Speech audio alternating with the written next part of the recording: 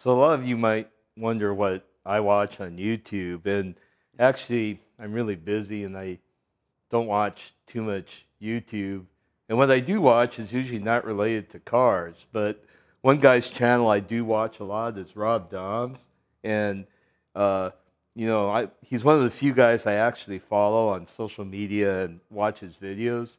And he's been doing some really cool stuff lately, and um, some of his projects are super sweet. And I thought you guys might want to be interested to see what he's up to lately. So here's your shop, Rob, and uh, man, there's a lot of stuff going on. I mean, you have like about four or five really cool projects that are like would be one of them would be overwhelming for most groups, but yeah, it's keep the blinders on, and that's what's kind of hard. You guys are going to see everything behind us, and that's when you look at overwhelming. But uh, we'll go piece by piece and show you guys all the different things we're doing. So I guess the easy one, because it's right behind us, is the uh, FD, the new one that uh, you're going to run at Pikes Peak, right? Yes. Yeah, uh, I am very thankful that the Pikes Peak Committee accepted my ap- application uh, not prematurely, but like I'm green. I'm new to driving, and and I'm gonna take this very seriously. And so, you know, a man is only as good as his machine. And this car has been. I've had this car since 2013, uh, and it's really what started the channel. So it's only right that that car is what goes up there first. As I learn what it takes to drive and build a car, now to then take ultimately the four rotor. And man, Pikes Peak is like a crazy place. Like you could be the best driver, you could have the best car, but the mountain decides how well you're going to do. I mean, the weather is so volatile, the conditions are crazy, and uh, I mean, you're a brave dude, and uh, I mean, I, I, hope you can tolerate, uh, you know, like highs of like super achievement and lows of bitter disappointment of things you have no control over. And uh, well, I, I build rotaries so I do very much accept both of those. but yeah, let's go check out your FD. Yep. Okay, so this car started its life in my hands as a drag car. Really? It did. Yeah, it was a guy from New Jersey. And, oh, okay. And it made yeah, it made 750 horsepower, and I love. Uh, as soon as you put that pedal down, you know, love. But I wanted more. I wanted better for this, and so I, uh, it's an RX-7. It should turn, and so I've been spending years learning what it takes to turn a vehicle. I didn't realize how complicated it was. But something that's inherently trouble, troublesome about a three rotor in a FD is that the steering rack goes underneath the oil pan. Right. And so it shifts the steering rack down. And so you can make all these different little adjustments and all that, but at the end of the day, bump steer city when you put a three rotor on an RX-7. Plus the culture of drag racing, it's uh, uh, just get that rack in there, and if the wheels turn when you move the steering wheel, that's good. Good enough. And so I wanted so badly to do three things at once, and this is all because of you know this car happening all at once. Is I wanted the weight to be. I wanted to say, okay, this is a mid-engine car, so I wanted the, the engine behind the center line of the wheels, mm-hmm. uh, which gave me the ability to pick the steering rack up, and then also cooling. Right. You know, like one of the things I always talk about when people ask me about what does it take to do uh, Pikes Peak, the first thing I always say that blows everybody's mind is uh, cooling, because the heat exchangers are like probably half the effectiveness near the top, and they're probably only about uh, they're probably forty percent less effective at the bottom, and these things run hot, right? Very, very. So yeah, so what you're what you see is we just got done 3D scanning it and we are about to lop off all of this and fill every cubic inch of the front with as much perforated aluminum and get as much heat exchanged as possible. And so I even have, grab this. This wouldn't make for a very effective uh, radiator, but nonetheless, it's in the shape of one. And so you can see just how big the main radiator, I'm gonna have three radiators, the main one's going to be. So it necessitates cutting off the frame rails. Oh yeah, that doesn't even fit in between the frame rails yeah. at all. So I wanted something that this is like a traditional, as you know, drift car size. So this is a drift car um, meant to be in the back of the car, but putting it in the front, angling it so that way I can get air ducted out of the hood, and uh, you know really have a nice, clean, efficient flow. So one of the things that I'm really proud of is, uh, like I said, 3D scanning it. We're going to have not just oil coolers on each side, but we're in front of the oil coolers are going to be additional radiators. And then just like my Indy car, I have you know little petcock valves that will adjust how much. So because right now, before I did all this, the oil was overcooled and the radiator was undercooled. Mhm. So I want to be able to adjust the ratios and uh, cool them appropriately because oil can, as you know, run way hotter uh, than than coolant, uh, in- especially in rotary. So I'll have three radiators in the front, and it'll all kind of tie into like the transmission cooler, the power steering, um, kind of using them all together in, in one system. Uh, it looks like uh, I mean you had to cut your firewall and section it Yeah. to move the motor back, but it also looks like you're going to make like a cross member cradle, so it'll be super easy to drop the motor out the bottom. Right. Yeah. So with the engine now going into, uh, it'll still have a firewall, but into the existing firewall, we can't pull it out from the top. So the dream is like a race car where it can be safely unbolted from the bottom, uh, and then you know serviced from that way. You're going to have sweet Deutsch connectors and quick Yes. disconnects, so you'll be able to drop this sucker really, really quickly. Yeah. So I, I my wiring harness I built for this has an extra like I want to say like eight inches of spare length that I meant I, I designed so I would at some point would cut and make into a you know a sealed connector uh, for the firewall. How how much power are you planning to make? So uh, I, guess my return question is at what uh, altitude?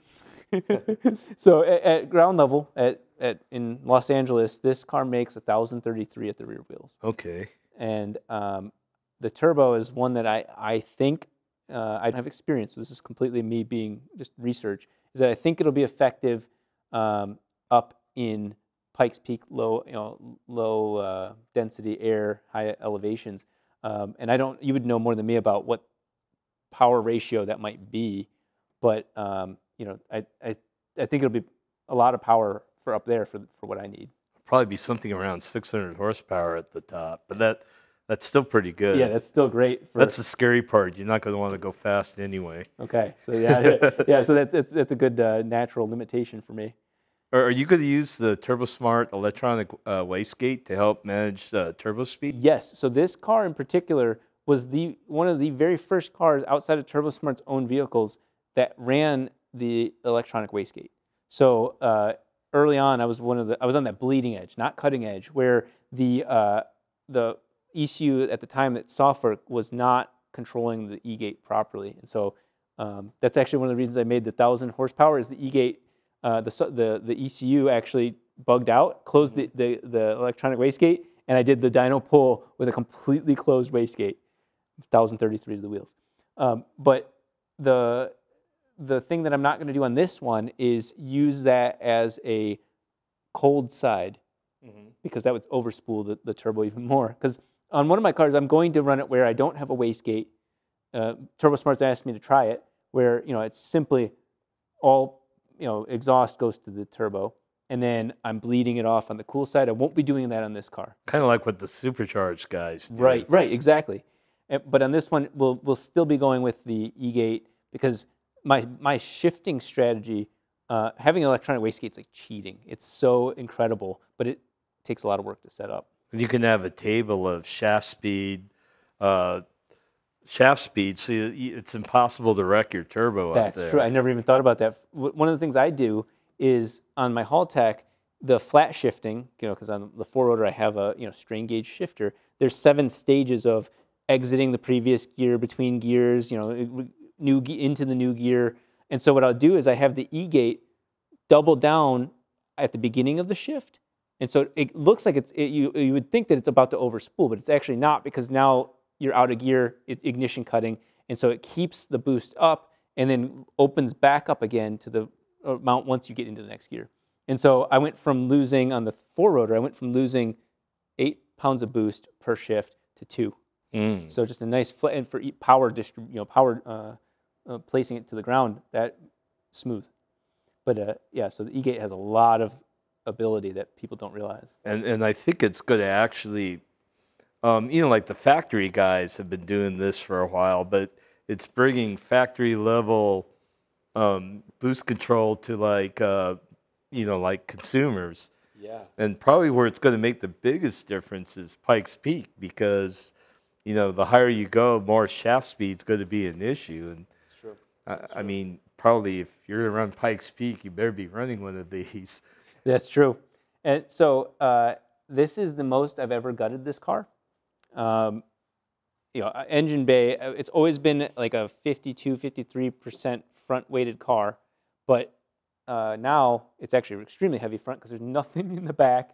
Uh, moving to a full blown fuel cell, uh, meeting all the safety requirements that, that the, the people at Pikes Peak require you to have, full roll cage, and uh, using that to kind of strengthen the, the front because I don't think this car was ever designed to experience the lateral forces that it now does with the addition of aero and just really good wide tires.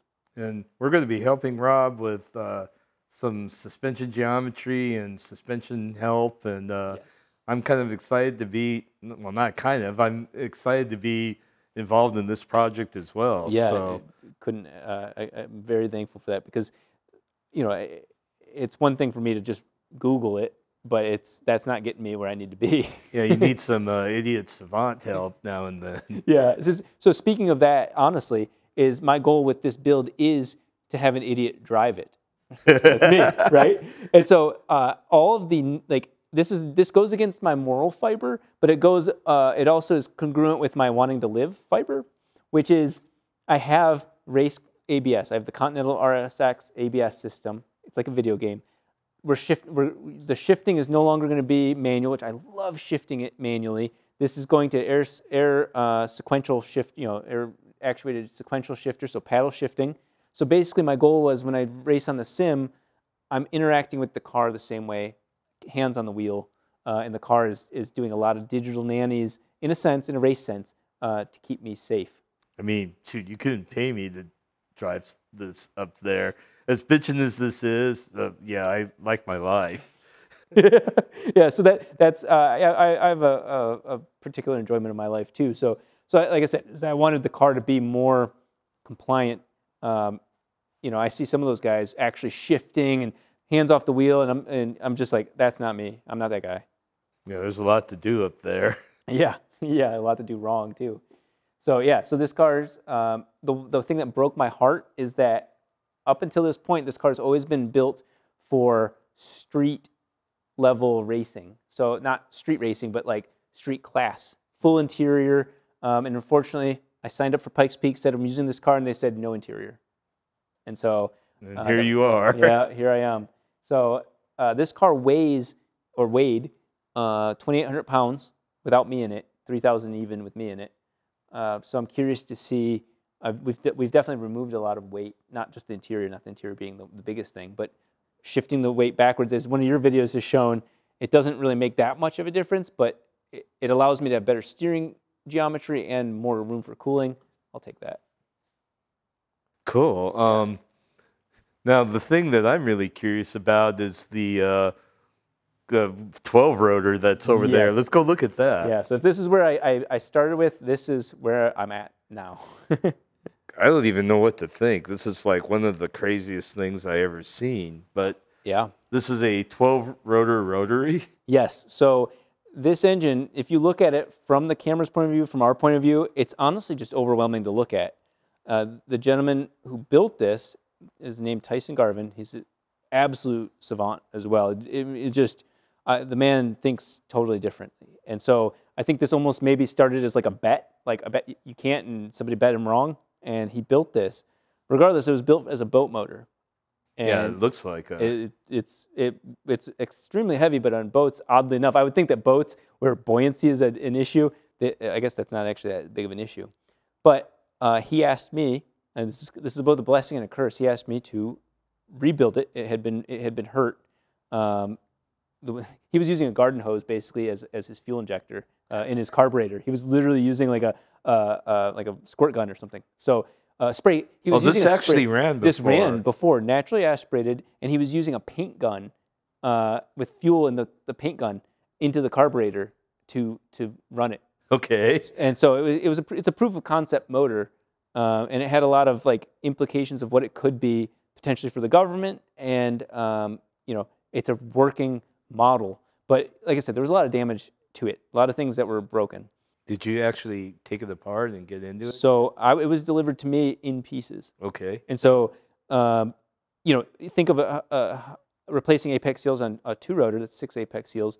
Now times that by six, you got 36, you know, apex seals. You've got, uh, you know, six times 12, uh, you got whatever, 72 corner seal. You, know, you got so many parts in, so it's a very expensive engine to rebuild for obvious reasons. But um, I think uh, this is, I haven't made this formal announcement, but I don't mind sharing it here because it's a technical audience. Um, we're turbocharging it. Okay. So, so what you see here is we're in the middle of Pikes Peak, but this we're looking at how are we going to put turbochargers on this motor, fuel injection. Uh, this is probably one of my favorite things I've ever done. So, uh, what I did was went into CAD and we we designed a fuel rail, a you know fuel injection system going straight into the motor, and then we added generative we added generative design. Oh, is that how you got that cool organic sheet? So I told it, hey, expect up to 100 psi. Put tons of force on each of these bolts because they're going to be holding down the fuel rail, and the fuel rail is going to be pulling up. Uh, and then so you see the generative design added basically added like glue to all the, the things that I had, uh, you know, we'd already designed. So uh, Ethan had helped me design this, but then uh, the system webbed it all together. And so this is actually one of my favorite things is these were built on a three-axis CNC machine. You look at it and think, oh wow, that's and the iterative design took into consideration the capability of your three-axis. exactly. Yeah, I told I told it I don't have a, a five-axis machine, and so this allows us to kind of again, this engine is so overwhelming. It allows us to say, let's just focus on fueling. oh, emergency broadcast. Yeah. System. Yeah. Oh, okay. Uh, flash flood I can deal until with that. 645. So um, th- this is just like the, the epitome of like more is more. I, I have some nerd questions. Yes. So your primary drive is that a chain?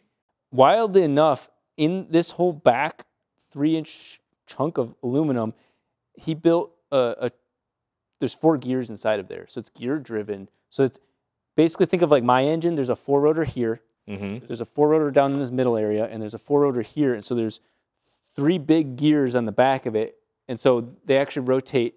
One of them rotates counter, Mm-hmm. and then the other one has a little baby like uh, I forget that- Idler? idler gear. And so then it rotates the same. Man, I would be worried about harmonics with a gear drive, and Yeah. I would have probably used a Hyvo chain or something because that would be more forgiving. Interesting. Yeah. The, the, And I probably would have driven it off of both ends. That's yeah, so. What he did is he had three harmonic dampers, uh, you know, the the, the traditional ones uh, on the front of there. So what's really wild about this motor that that it kind of like segues into is that this does not have counterweights. He has it where, and you can actually see it when you look into the motor. Um, uh, even easier with the exhaust off. So I, I, I built these exhaust pieces. You know, all, everything up here is all like ours now. Like the, so what you'll see is on these two rotors, you can actually see that the, they're at the exact same position. Okay. So Kind of like a th- what some people call a thumper. yeah, so so these two fire, and these two fire 180 degrees later. So they're they're negating the need for uh, counterweights Mhm. for the most part, but uh, on like our race four rotors, you know, they're, it, it's every 90 degrees they're they're firing, and so um, technically when we fire this up, it's going to be a thumper. It's going to be a, a, a two pulse six rotor is the way I, I kind of think of it. So six rotors firing, but two rotors at each of those uh, times.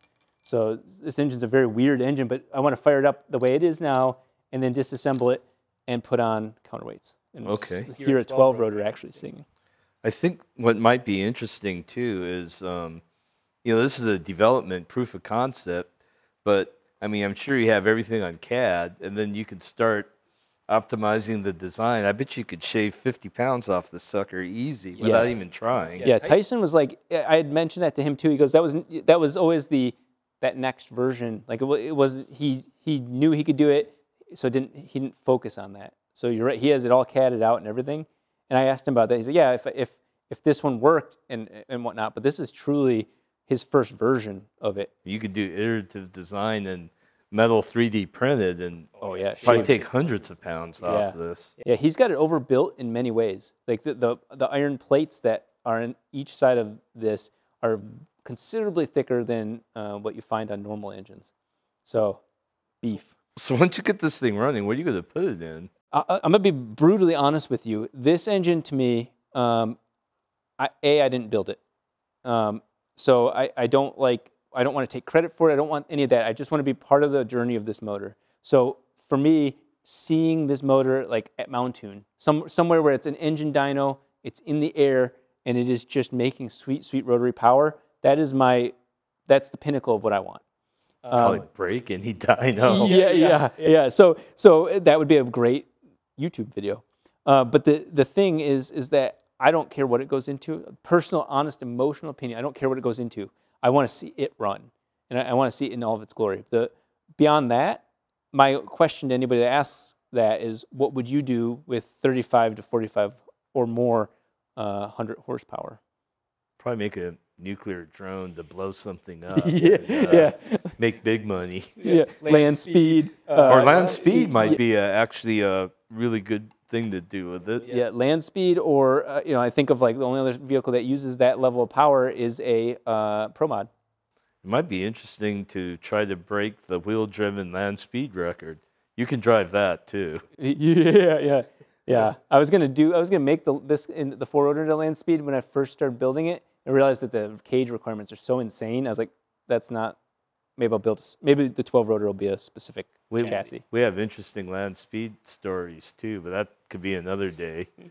so this is, man, this is more than anybody I know has attempted to bite off. Just about. Yeah, yeah. This one we actually put it under a blanket whenever we're working on anything else because it's it's it's like a light for moths. Is that I just like I stare and look at it and I'm like I do this for about an hour, and I'm like I- I still didn't get any further. It's it requires a lot of thought to work on this motor. Well, That is yeah, and that's funny because that's not even my like this is one of my favorite things. Uh, but like everything behind here is also equally as emotionally important to me. Of course, you know my magnum opus, the four rotor, and you know that's what something that you and I are going to be working on more after after Pikes Peak and whatnot. And then my little baby here. What's funny is this is my lowest horsepower car, 700 horsepower to the wheels, but it, it's the highest horsepower per rotor vehicle. So it's actually one of the most rowdy. I mean, 2,300 pound car with 700 horsepower is stupid, absolutely stupid. Um, but then, of course, my baby, the Diablo, my that's probably the boring car. it's the lowest horsepower car here. um, and you know, but that's uh, one of my true loves. Childhood Guinness Book of World Records, 1991 paperback. It's not in the, the hardcover because it only held the record for a little bit of land speed or uh, production car, fastest production car.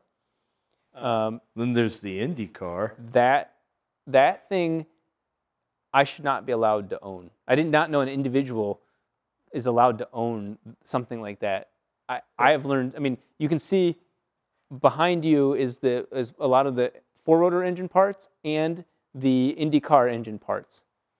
And so uh, that shelf right there, even though that engine was built in 1997, has taught me so much from being an outsider and going, that's how they do it. That's how like they optimize that stuff. Well, when you're ready, I know many of the people that helped develop this stuff. So, uh, you know, we, I could finish introducing them to you, and Yeah. uh, you know, like it's been a while, but they could probably answer a lot of this stuff, and then, you know, help you with any technical questions Yeah. too. And I mean, a lot of it's lost knowledge because racing stuff changes so much, right? It, it is. It's it's. I, I I feel like I'm I'm cursed where I just keep going to more and more obscure, less and less people know uh, about it. Like like you said, it's a handful of people that actually know that.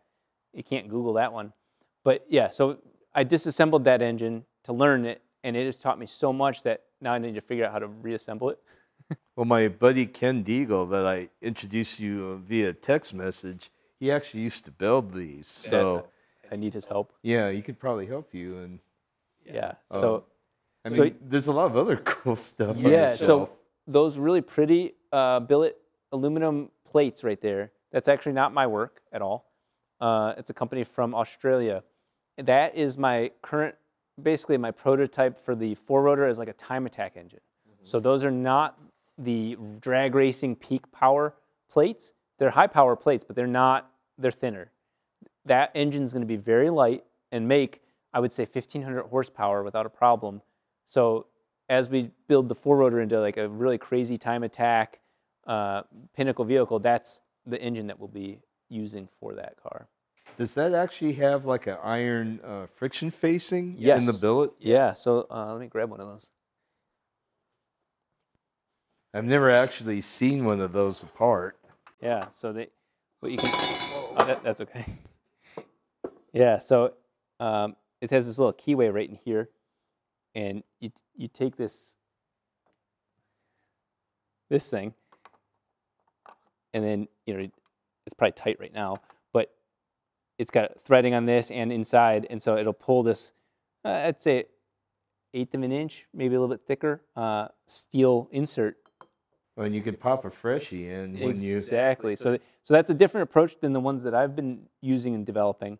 Um, the idea is that, like you said, replaceable faces i- is, very hard to ignore. How beautiful that is, and these guys, I mean, look at their their machine works incredible.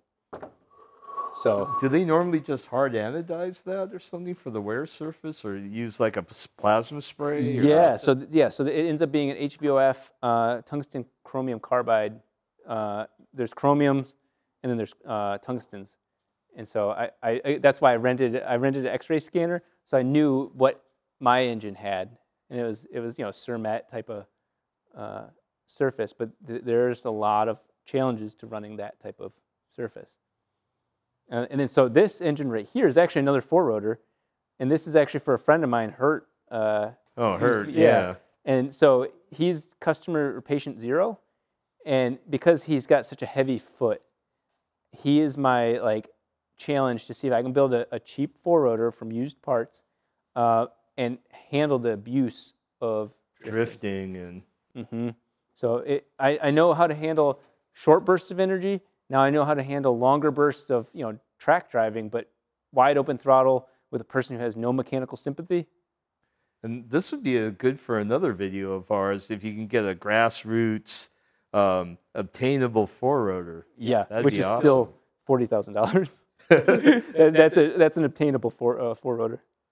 Wow, I did, had no idea, but Yeah, yeah. No, we we actually went and got two, uh, three engines imported from Japan, like two rotors, tore them apart, and there weren't enough parts to make a solid.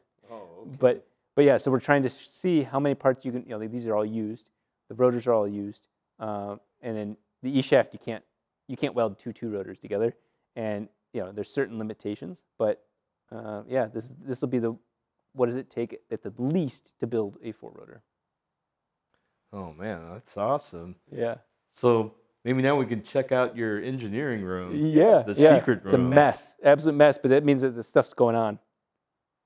Yeah. So this is where the magic happens. Um, really, this is going to look to people like, oh my God, they've been doing this this whole time like this. This is literally like the first day we've we've got this. So Ethan is really the beginning of our engineering and planning, and this is the three rotor, the Pikes Peak car. Um, and we're putting all the pieces in there and saying, how are we going to make all these fit? And like I said earlier today, if you can go to the, uh, the scan, we just scanned. Uh, this will look just like what they, the people saw. That's exactly what all those little dots were there, as you know. Mm-hmm. Um, and so, with the engine in that spot, with the headlights there, we now know okay, how far forward can we go with the the uh, radiator before it shoots out the front of the car. So uh, this gives him the tons of reference points to plan. Uh, so this it looks like we've been doing this for a long time. This is literally hours. We've finally gotten this. Uh, this is very exciting for us, but uh, this is my dream is to have like this sort of planning and that's why i wanted to get this in place when we talk about doing the four rotor because i want the four rotor to exist in the, the three-dimensional computer space before i ever bend a, or weld a single piece Yeah, like, I mean, I'm used to what it might sound racist, but we call it Filipino CAD. So we just get strings, uh, plumb bobs, yeah and then, you know, kind of fake it old school. But this makes everything so much easier. yeah And um, it's just the amount of analytical tools that are available in the consumer level now nowadays. So even a semi grassroots uh, effort can have like a lot of engineering in there. Yeah, I mean, really, it's been even as of a little, you know, weeks ago. You know, it's been just very ragtag handful of people. Just me, Joel, Ethan's been, you know, really coming up to speed here, and now, you know, it's like it feels it feels cool. It feels like a race team, but it's not. It's just a group of guys that love, love what we're doing, um, and so we're trying to make it the best we can. And really, this is out of sheer absolute necessity. We know what coolers we want. We know what sort of like splitter we want. We know where the wheels are, and now we just have to try and make it all fit. I mean, this is like stuff that F1 teams it was only available to them not too right, long ago. Right. Yeah. They, I'm thankful for all the teams or people that have made, you know, whatever SolidWorks, Fusion 360, all the scanner. Like it's it's neat that it's becoming more and more prevalent. But yeah, so this is, um, you know, this, and then of course, as you know, infamous editing, and can't can't avoid that. Well, what I like is that, you know, most YouTubers are all about the hype and uh. And basically dumb stuff, so I can't stand most car YouTube channels. But I mean, yeah. the stuff you do is the real deal, yeah. and that's why you're one of the few channels I, I actually watch. Appreciate that. Yeah. It's, well, you know what it is is uh, we can film a little bit on this, right? But but the amount of time he's going to be spending on there, uh, most YouTubers can't justify spending his time or their own time to do this to make one video you know, to make a piece of a video. They're, they're looking for that quick. I, I, got new wheels. I've got, I've, you know, I got wrapped the car like quick, you know, payoffs. This is a slow payoff, but I think I, I believe a, it, you know, my dream is to be able to do these things. So uh, I think that is the payoff for me. Yeah, and um, I mean, most YouTubers just want to blow something up spectacularly, so they build a crappy engine and send it, mm-hmm. or um, yeah just how it looks and it's all hype. But I mean, your stuff's the real deal, and that's why I've always liked what you've done. Yeah, thank you. Yeah, it's it's it's crazy because like we're just uh, finally getting to a point where okay, these rotary engines are lasting, and I think that's kind of been my progression. Is like I went from like dream of getting them to run, now they're running, now they make power, now they're lasting, and I'm like, shit, I have to drive the car. I've always been you know, like I told you about the the experience with Adam, I've been afraid of them for twenty something years, yeah. but shoot, now I kind of want to build one. Yeah. So. Yeah, and so you know, I was willing. Um, you know, a little bit about this room is that I was willing to do whatever it took to get to this point. To get the four rotor running was such a personal goal, and you know, with that fear of not knowing what it takes, uh, I literally rented this shop and lived here for two, three years. Um, you know, quietly, it's it's a commercial space just to make ends meet and and you know two in the morning i'm in my boxers on the cnc machine making you know trying weird things learning um, and that's paid off in such a big way you know investing in myself um, i think it's kind of like if there was a moral to the story uh, that that definitely you know you, they say invest in what you know and i invested in myself i know i know myself and that paid off well i guess uh, we got to look at all of Rob's cool stuff, and I mean, I'm sure that you would agree that this is amazing. I mean, I thought we did cool stuff, but this is uh, another couple levels more. I mean, you know, I like to play it safe and just follow other people's lead that seem to know what they're doing. But uh, Rob's pioneering, and uh, uh it's pretty mind blowing that a lot of that happens here yeah. in this pretty small shop. Yeah, thank you. Um, so if you enjoy this content, uh, be sure and subscribe. Um, visit our e-store, buy our merch, help me out. And, uh, you know, we're going to be following Rob and helping him out as he uh, goes on his journey to Pikes Peak and kick butt in time attacks. So look for more content uh, with Rob and what we're doing and all that. So until next time, we'll see you later.